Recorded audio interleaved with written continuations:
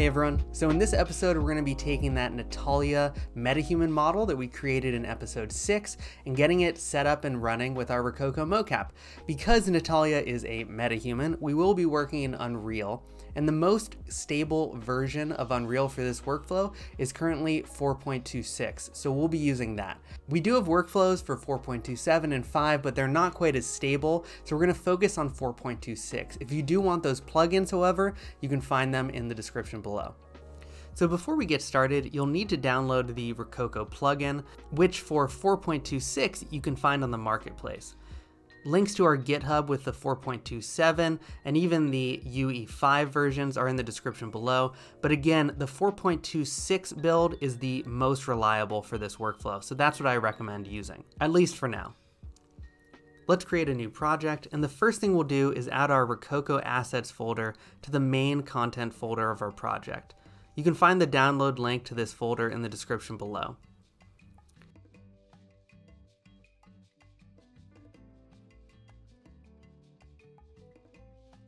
Then we'll install our Quixel plugin if it isn't already loaded to your project. In this case, I know it isn't because I don't see a Megascans button up here.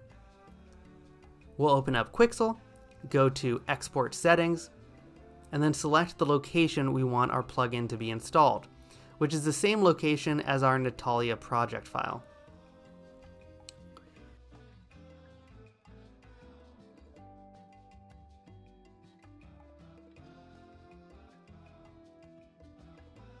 Once the plugin is installed, we'll jump back to Unreal and enable our Rokoko plugin by going to Edit Plugins. You'll be prompted to restart. And when Unreal opens back up, both the Rokoko plugin will be enabled and you should see this Megascans button now at the top. So now we'll jump into Bridge and we can export Natalia.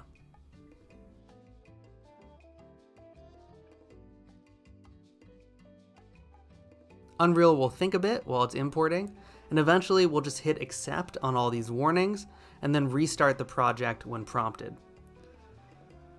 So metahumans are pretty beefy in terms of shaders, so when the project opens back up, we'll need to wait for all the shaders to compile. When that's done, we can start prepping our metahuman. To do that, we'll go into the metahuman folder, then the Natalia folder, and then open up the Natalia blueprint. First we'll select LOD sync and make sure the LOD is set to zero, which is the highest quality level of detail. If you want less stress in your machine, you can always set this to a lower level of detail. Negative one is actually an adaptive level of detail that changes based on distance, so you can do that as well. Then we'll hit compile and save. Now we need to make some changes to our MetaHuman's blueprint, which you can access by selecting the body, and then opening up the mesh, and then going to the blueprint. When we open it up, we're going to be on the event graph. So we want to go and double click on the anim graph. Now we want to add a Rokoko body pose node to our blueprint right after the control rig.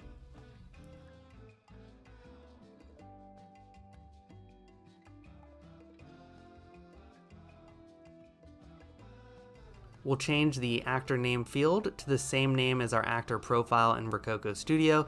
In this case, it's Sam, and I'll point this out again when we get to it in Rokoko Studio. We'll also add our metahuman bone map to the bone map override on the Rokoko body pose node. This was one of the bone lists that were included in the Rokoko asset folder we imported. Again, you can find the download link for that in the description below. Finally, we need to put our metahuman in a T-pose. So I will enable bones so we can see what's going on. And now if we select the control rig, we should be able to add our metahuman T-pose asset, which is also in that Rokoko assets folder. So sometimes this won't load, which means you actually need to go and open up that asset and save it again.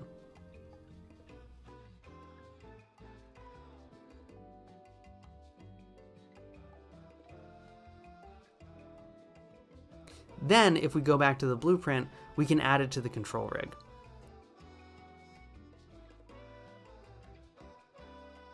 When we compile, boom, you can see that our metahuman is now in a T-pose. So now we just need to make one change to our MetaHuman head blueprint. If we jump back to our overall Natalia blueprint, we can select her face, open up that mesh, and then go to that head's blueprint. Again, we'll be in the event graph, so we need to go and open the anim graph. Essentially, metahumans have an issue with the ARKit, where the lips remain open even if your mouth is closed. To fix this, we'll need to add a modify curve node right after the live link pose node. We'll wire that together, and then we'll right click on the animation pose out, go to add curve pin, and search for mouth shrug lower. We will add it and then change the value to 5. And then I'll turn off bones just so we can see what's happening. And now when we hit compile, you'll be able to see that the mouth has been adjusted upward slightly. This is gonna fix that hanging open mouth issue that you have with the ARKit and MetaHumans. Now we can go and add our Natalia blueprint to the scene, center her, and we'll jump into Rokoko Studio.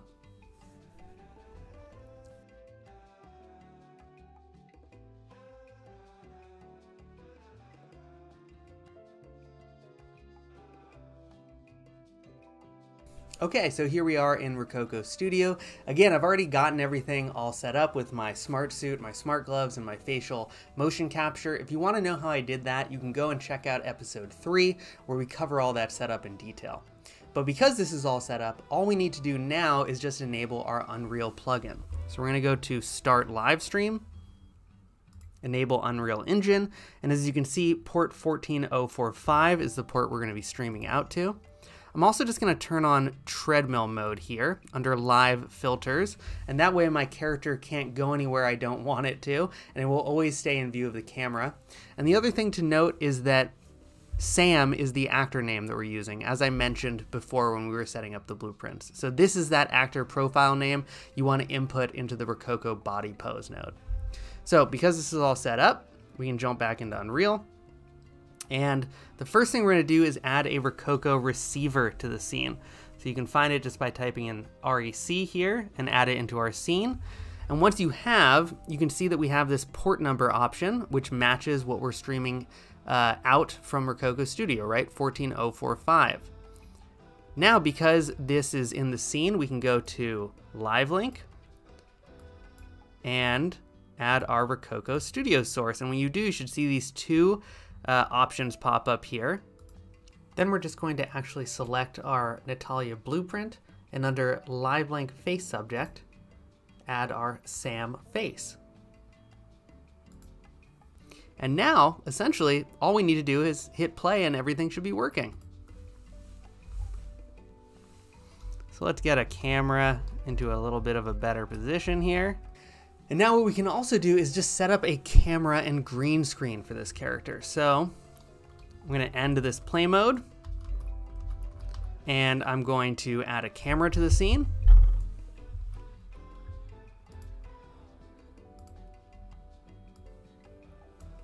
We'll pilot it, get it into position a little bit. I'm just gonna slow this camera speed down and we can adjust the focus settings. And then I'm going to add a plane to the scene. I'm going to scale it up, rotate it 90 degrees. Let me bring it in a little bit closer. And then I will also create a new material And if we plug a constant 3 vector into the base material, we can select this constant and go and find a green color. So this is nice and green screeny here. Okay. Save. Apply. And we will add this to our plane. So now, if we hit play, and then we hit eject, we can actually go and to that camera view, and there we go. So that is how you get your MetaHuman up and running in Unreal Engine. This project file will be available in the description below, as well as links to five other project files where we've set up metahumans with custom Paragon bodies. Because metahumans are still in alpha, the wardrobe collection is super limited. But it's actually really easy to isolate the metahuman head and just plop it onto a custom body. We've released a few tutorials going over this project, as well as free project files, which are fully set up for Rokoko mocap and you can download in the description. You can also find a link to the tutorial for a sitting blueprint in the description below if you want to try that configuration. In episode 11, we're going to go over how to stream this setup out to your favorite platform using OBS. And in the next episode, we'll cover the Character Creator 3 workflow for Unreal. Join us!